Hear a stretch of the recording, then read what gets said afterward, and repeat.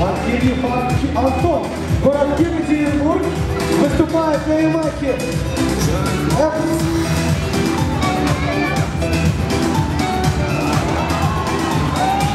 Три года, три года участвует в моточемпионате.